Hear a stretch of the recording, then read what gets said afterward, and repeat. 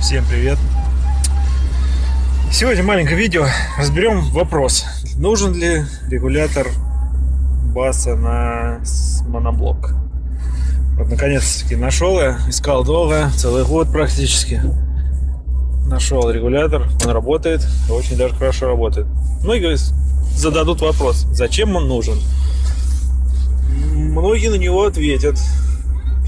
Многие скажут, нахрен не, не нужен. Ну, в принципе, я считаю, что он очень даже нужен. К примеру, сейчас воткнем музыку. Еду я, еду.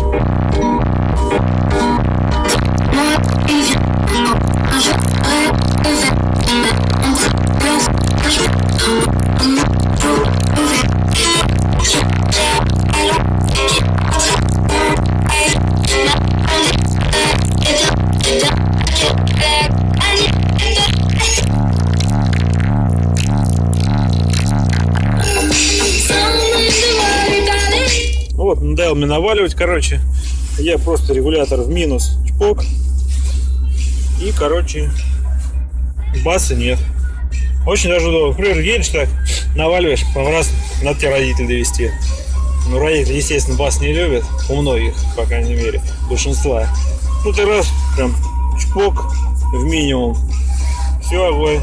Можно слушать любую музыку, любую попсу, попсов не будет. Ну, я считаю, что очень-очень нужная вещь. Ну, кто-то считает иначе, пишите в комментариях. Всем спасибо за внимание, удачи, всем пока.